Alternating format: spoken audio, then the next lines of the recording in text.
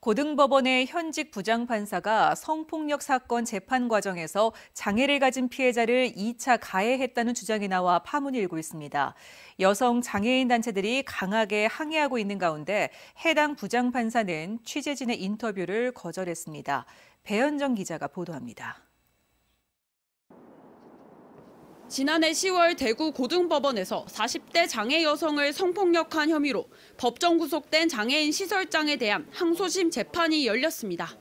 그런데 당시 법정에서 피해자가 성폭력을 당한 모습의 사진이 모자이크 처리 없이 대형 화면에 띄워졌습니다. 그러나 재판장인 양모 부장판사는 이를 제지하지 않았고 피해자의 얼굴은 그대로 노출됐습니다. 양 판사는 심지어 피해 여성의 신체 특정 부위와 2차 성징 여부 등 발육 상태를 언급하기도 했습니다. 이 같은 사실은 당시 재판을 방청한 장애인 단체 활동가의 메모를 통해 드러났습니다. 발육의 어떤 상황이 성추행이다 아니다를 결정지을 수 있는 것처럼 계속 피해자의 신체 상태 이런 것들을 언급을 해서 어, 굉장히 듣기에도 고통스러웠고 2차 성징이 일어나서야만 피해자가 될 수 있고 없고가 가려지는 게 아니잖아요. 네네. 그렇다고 하면 이거는 재판의 쟁점도 아닌 거죠.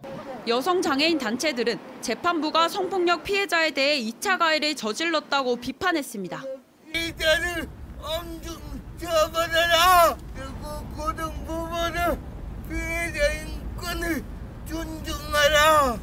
특히 성폭력 범죄에 대한 이해와 성인지 감수성이 결여됐다고 주장했습니다. 재판부가 성폭력이 일어날 수 있는 상황을 여성의 몸, 몸이 몸에 원인을 두고 있다는 것, 이 시각 자체를 여실히 드러내고 있다. 여성 장애인 단체들은 해당 부장판사가 공식 사과하지 않을 경우 국가인권위원회에 제소하겠다고 밝혔습니다. MBC 뉴스 배현정입니다.